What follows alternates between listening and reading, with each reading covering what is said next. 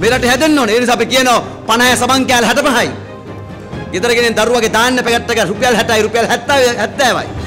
අලියා කන එළවලු වට්ටක 500 රුපියල් 50යි. අපි ඉල්ලුවා යුද හමුදාවේ කන්ටර් ටික දෙන්න වාහන ටික දෙන්න අපිට. ගේන්න කොළඹට එළවලු ප්‍රශ්න විසඳනවා එක දවසෙන් අපි. මොකක්ද කරන්න බැරි වෙලද්ද? අපේ ආපන ශාලාවට ගියා කිලෝ 50 50 බෑවා. එළවලු පරිභෝජනයට වැඩි කරා. අද සමහර අපේ හෝටල් වල ෆ්‍රයිඩ් රයිස් එකක් ගත්තන් පස්සේ කැරට් කෑල්ලක් වලන අන්වීක්ෂක ඕන. ඒක තමයි ඇත්ත කතාව.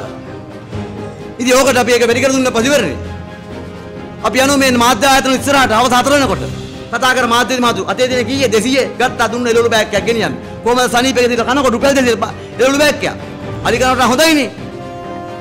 වැඩ පිළිවෙල නෑ මුංගාව. අපි කිව්වා අපිට ගෑත් දෙන බට්ටික් කියලා. ඒ නිසා මුංගාව වැඩ පිළිවෙල නෑ මුංගේ තියෙන සංදර්ශන සංදර්ශන අනිත් එක පා- පාර්ලිමේන්තුවේ වාහන 225ට මුන් 200 මහර කතා මේක. ඒ නිසා ඉදිරියට මේ සියලු දේවල් අපි අදිනවා.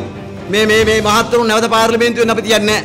මිනිස්සු අවදි වෙන්න ඕන. බල බත් පැකට් එකටයි, කිරි උදි පැකට් එකටයි, අරකටයි මේකට කතර ගැහුවොත් හැමදාම වෙන්නේ අපි 10 වැඩි කරනවා බල පරිප්පුව කරනවා. එහෙම නැත්නම් කට්ටියත් එකතු වෙලා අත්වැල් මැදගෙන මේ රට මේ ජ- මේ මේ මේ පාලකයන්ට දැනෙන දෙයක් කරන්න ඕන. එක මොහොතක අපි ක්‍රියාකාරීත්වය ඇන හිටපු ලංකාවේ. ඒ සඳහා පළමු පියවර අපි ජනතාව දැනුවත් කිරීම සඳහා තමයි ඔබට සනීපති කියලා අපි අහන්නේ.